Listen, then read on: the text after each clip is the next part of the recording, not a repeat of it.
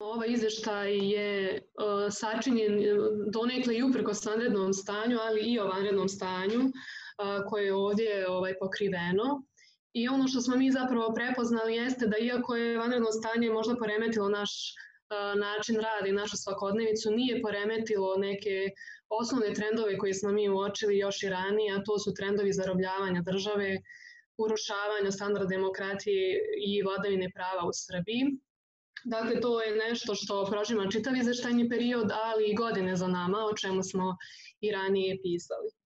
E, izveštaj bilježi iščezavanje načela podjele vlasti, kočnice i ravnoteža, nefunkcionalnost institucija, njihovo selektivno postupanje, e,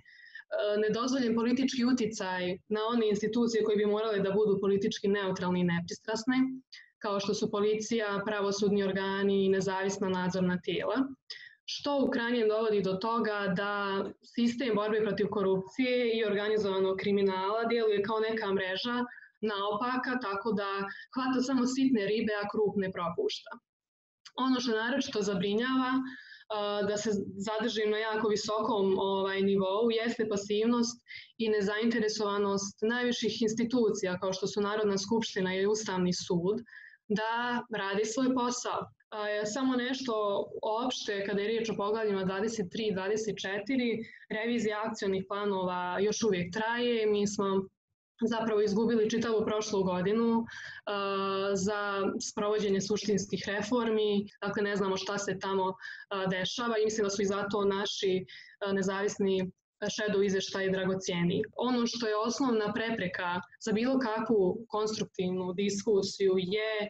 netolerancija vlasti prema kritici. Dakle, kogod se raspituje, traži dokumenta, traži informacije, daje loše ocjene,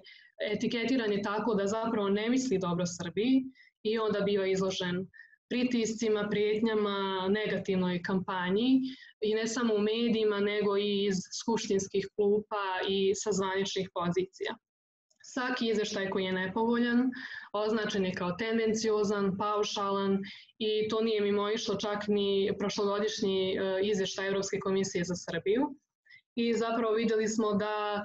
je vlada prije sklona da se svađa oko nekih formulacija i metodoloških detalja, nego da sagleda probleme na koje se u takvim izveštajima uporno ukazuje.